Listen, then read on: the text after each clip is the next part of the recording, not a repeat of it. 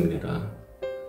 다육이를 키우시다가 다육이가 웃자라거나 아니면 번식을 위해서 적심을 해주시고 적심을 해준 자구를 흙에 삽목을 해서 뿌리를 내리시는 경우가 있는데요.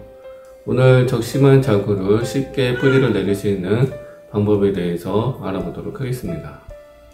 지금 보면은 길게 웃자란 창다육의 웃자란 부분을 적심을 해서 그늘에 말려준 자구인데요. 저는 자구 선목을 할때 바로 흙에 심어주는 게 아니고 이렇게 그늘에서 두어서 뿌리를 내리게 한 다음에 심어주는 경우가 많이 있는데요. 지금 이 상태로 이렇게 자구를 놓고 그늘에 말리게 되면 시간이 지나면 보시는 것처럼 뿌리가 나와서 자라는 것을 볼 수가 있는데요.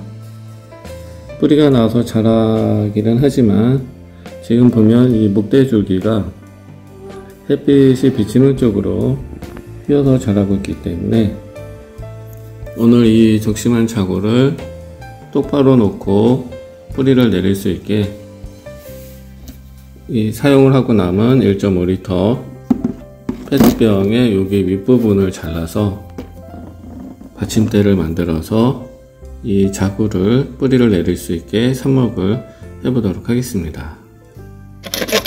페트병의 윗부분을 잘라서 받침대를 만들어 주었고요. 이 상태에서 적심한 자구를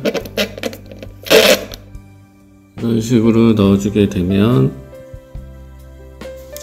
아까 보여드렸던 것처럼 목대조이가 휘어서 자라지 않고 물론 이제 햇빛이 비추는 방향으로 방향이 바뀔 수는 있지만 목대줄기가 휘지 않고 시간이 지나면 뿌리가 내려서 쉽게 삽목을 성공하실 수 있을 것 같습니다.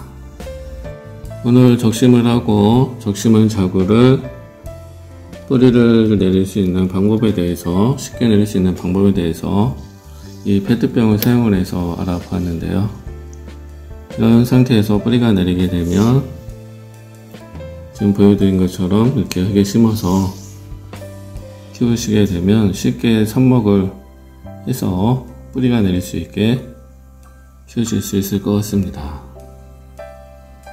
앞으로 시간이 지나서 오늘 페트병에 삽목을 해준 이 자구에서 뿌리가 나오게 되면 영상을 찍어 보여드리도록 하겠습니다.